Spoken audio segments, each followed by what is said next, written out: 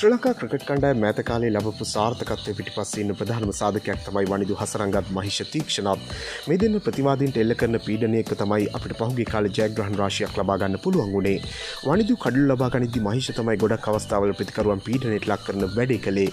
වනිදු වතාවක් කියලා තිබුණේ තමන්ට කඩුවෙන්න්න මහිෂෙල්ල කරන පීඩනය ලොකු හේතුවක් කියලා.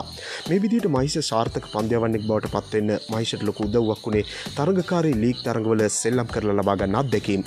අබුඩාබි ටීටෙන් තර තරගාවලිය වගේම IPල් තරගාවලියත් සෙල්ලම් කරලා ලබාගත් අත්දැකීම් මහිෂට ජාත්‍යන්තර තරග සෙල්ලම් කරද්දි ලොකු උදව්වක් වෙන විදිහ තමයි අපිට දකින්න තියෙන්නේ. ශ්‍රී ලංකා කණ්ඩායම සුපිරි 12ට අයර්ලන්ත කණ්ඩායම එක්ක තරග කරන්න කලින් අපේ කණ්ඩායම ගැන කතා කළ ස්ටීවන් ෆ්ලෙමින් මහිෂ තීක්ෂණ ගැන විශේෂයෙන් කතා කරලා තිබුණා. ෆ්ලෙමින්ට එහෙම මහිෂ ගැන කතා කරන්න පුළුවන්කමකුත් තියෙනවා. මොකද IPල් තරගාවලිය මහිෂ සෙල්ලම් කරන චෙන්නයි කණ්ඩායමේ පුහුණුකරු විදිහට ඉන්නේ ෆ්ලෙමින් තමන්ගේ T20 දිවි යවපු පන්දු වලින් 155කට වඩා පවර් ප්ලේ අවස්ථාවේ යවලා තියෙන මහිෂ ගැන ෆ්ලෙමින් කිව්වේ මෙහෙමයි ඇත්තට මහිෂට ශ්‍රී ලංකා නායකයා පන්දු බාර දෙන්නේ අමාරුම් වෙලාවට.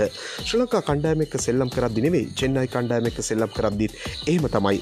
ගොඩක් වෙලාවට මහිෂ පන්දු යවන්නේ පළවෙනි පන්දු වාර 6 ඇතුලේ. ඉතින් ඒ වෙලාවේ පන්දු අතට අරගෙන නායකයාට ඕන දේ මහිෂ දෙන්නේ මහිෂ ප්‍රතිකරුවන්ට බය නැති නිසා. මම දැකලා තියෙනවා ඉනිම අන්තිමට 17 18 ඕවර් යවන්නත් මහිෂ පන්දු බාර ගන්න විදිය.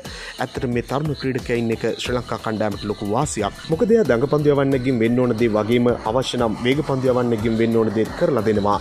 ඔය විදිහට මහිෂ ගැන ප්ලෙමින් කියද්දී ඒ වැඩසටහට එකතුුණු අනිල් කුම්ලෙක් කියන්නේ මහිෂ කරන්නේ මොනතරම් අමාරු වැඩක්ද කියන එක තමන්ට දඟ පන්දයාවන්නෙක් විදියට හොඳටම තේරෙනවා කියලා.